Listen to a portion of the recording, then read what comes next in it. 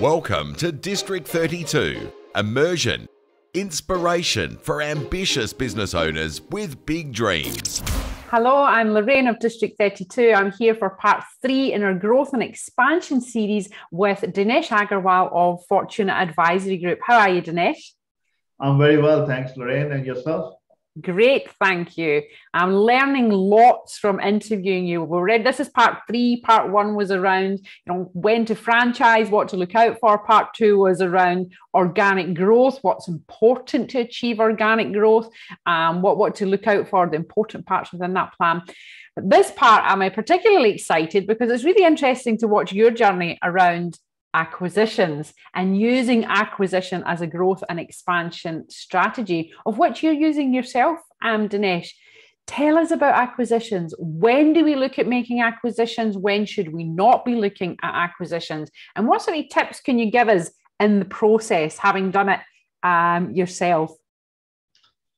Thank you, Lorraine. Uh, yeah, definitely. Thanks for having me back. Um, it's been sort of exciting talking uh, on this subject because this is one of my favorite subjects. You know, just the growth journey. It excites me. Uh, we've discussed uh, sort of various models, franchising and, and organic growth, and uh, talking about growth via acquisition is is definitely uh, an important aspect of the of the entire sort of puzzle of growth journeys. Uh, now we have taken a combination of organic and, and um, uh, acquisition growth strategies. And that generally, uh, generally is sort of the way because even if, uh, if you're heavily uh, acquisition focused, if you ignore the organic growth component, uh, I think it sort of doesn't make sense because it's kind of having a leaking bucket.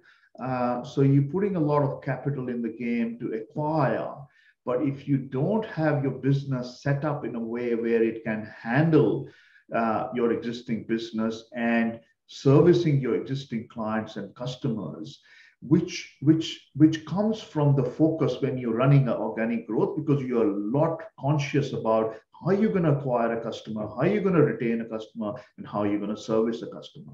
So if that culture is missing, then you know acquiring uh, more businesses is is definitely uh, you know going to have a leaking bucket element to it because you you you know you're bringing all that sort of uh, more customers into your business but perhaps uh, not being able to service or retain them in the way you would you would have. So the business could have a detriment uh, so there's a lot of and and i'm not saying that it's always perfect. You learn along the way. We've made mistakes uh, we've never been perfect uh, in, in, in sort of uh, making our business, you know, in a perfect form. Uh, you learn a lot along the way. But uh, if you are quite ambitious uh, in terms of achieving a certain size, a certain target, a certain presence, organic growth is definitely going to be a, a slow process.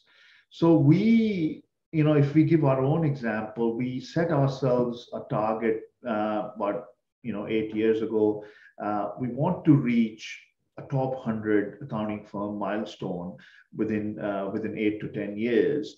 And with a lot of our research and a lot of planning uh, and strategic understanding from where we were as a tiny, small little accounting firm in Joondalup, uh, that was a mammoth task, uh, task and would have been sort of over ambitious and maybe not possible just purely based on an organic growth. So you need to be realistic. If you're setting a certain target, that what are the realistic parameters to be able to achieve it? So if you've done that and you understand that uh, that acquisitions is going to form part of your your your journey of target growth, then of course you need to bring that in your planning. Mm-hmm. So and it is very much same uh, kind of planning when what sort of you need to grow your business organic. So, you know, you're looking at the market size, uh, you know, what sort of customers are available, how are you're going to orient and prepare your business, um, you know, the resources, the capital, and everything else. Similarly, when you're going into an acquisition target, and that's where if the, it's a seller's market, I mean, it could be a buyer's market where uh, a lot of businesses are coming out for sale and, and the buyer has the buying power to negotiate the type of business he wants to take on and on its own terms, maybe hospitality and things like that. Whereas if it's a hot, you know, sort of service industry, whether you know, you call it accounting or or legal or, or, or insurance or something which is sort of hot IT. Uh, so then i mean of course the seller has a discretion whom they want to sell, sell it to. There's a lot of client relationships that come with it. So you need to marry up the culture. Uh, uh, you know a lot of fit has to be uh, uh, sort of managed. So it's it's not just that you go out and shop and pick and choose. So you have to sort of target um, uh, you have to have multiple discussions and uh, relationships. You have to prove your capability of being able to uh, to acquire and retain the business. And it's it's not that you just start a conversation and you don't have the financial capability, the the the technical capability, and and and the service orientation to be able to handle that purchase because the seller has built up a business with the with the name and a reputation and a loyal customer base they don't want they have a more uh, sort of emotional element to it on top of you know they're selling and getting their lifetime uh, saving out of it. So uh, it is very high, heavily capital intensive of course as you know. So you need to plan how you're going to uh, arrange that capital. Uh, of course you know the first thought comes to mind that we're going to go to the banks but banks won't sort of you know lend their hand straight on every acquisition. Again, it's very industry specific. Uh, a lot of times they need a security. So if a business is of the nature which has an underlying security in terms of physical assets, um, some of the goodwill would be considered by the bank because um, they are in a reputable industry. They are uh, franchise quality franchise industries or they are some uh, highly reputable service industries like uh, like accounting, insurance, um, uh, legal, and things like that. So, so you have to see how much capital would be available through through debt debt funding from the banks, and it's never going to be 100% so you have to have your own capital required to, to be able to make it. So that first step is you can't start with the capital acquisition. So you need to build a bit of a mass unless you got plenty of cash inheritance or something you know stacked yep. away and, got lucky. Yeah. Lucky yeah that's right. Or you had some sort of silver spoon. You know okay well i'm going to go out and do some shopping. Uh, and but uh, uh, otherwise, you know, any sort of entrepreneurial journey, you know, you're taking the baby steps, you're establishing yourself, you're trying to save some money, you're creating a bit of a capital, uh, and then, you know, you take that first step of, of a small acquisition, take the banks into confidence, prove your your strength and capabilities and your track record and history, and of course, the reputation comes with it. I mean, if that's an industry where the seller is going to to measure you on. So if you once you've ticked all all those sort of boxes, you put the whole thing together. You start uh, uh, you start your target uh, sort of process, um, have the conversations, and then sort of various steps involved from there onwards. And that again is, I mean, I wouldn't go into too much detail because then you know, okay, you having what's the sort of whole process, uh, you know, starting from uh, you know, term sheets and heads of agreements and going into, you know, contractual uh, part of it and then due diligence and then sort of con- uh, uh, uh settlement. So that's all legal and uh, compliance process starts from there. I think it would be great to have an interview around that at a later date, though. Yeah, that, yeah right. that would be great. Yeah, definitely. That's what I said. It's you know, it's probably it's it's another interview if we to go into that, that details.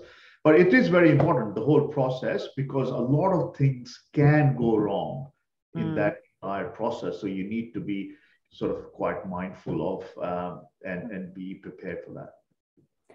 So, Dinesh, again, um, lots of insights in there around, you know, we have to have some organic growth anyway. Are we able to sustain ourselves through organic growth? Um, buying a business or acquiring a business is not about picking one from a you know a website and then making the purchase. You really have to be able to prove yourself. People who are selling are typically looking for a good relationship and knowing that you're going to look after their customers and their clients. Make sure that you have some sort of stability within your own business to be able to acquire capital or to go and look at some fundraising so that you can you know make these acquisitions. And then it's about relationships. How do you start that conversation um, to earn some trust to be able to go in into the negotiation um, stages of a business? Exactly yeah. And then then the then the fun really starts.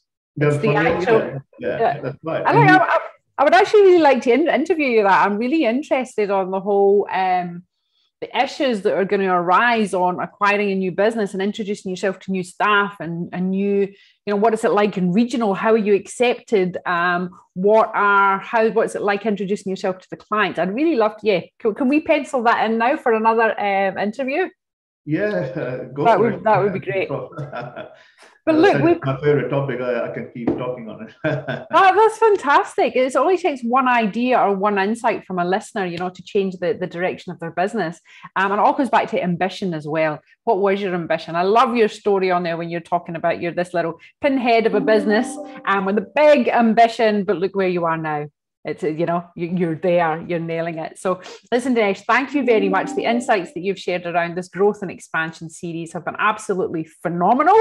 Yet again you're making a difference to business owners who are listening and watching. You're making a difference to me. I can then go and quote you for all the tips that we are learning. But thank you very much for sharing your knowledge your time and your wisdom. Thank you so much lorraine. My pleasure. Thank you. I look forward to the next series. Thank you dinesh. Bye-bye You've been listening to District 32, immersion, inspiration for ambitious business owners with big dreams.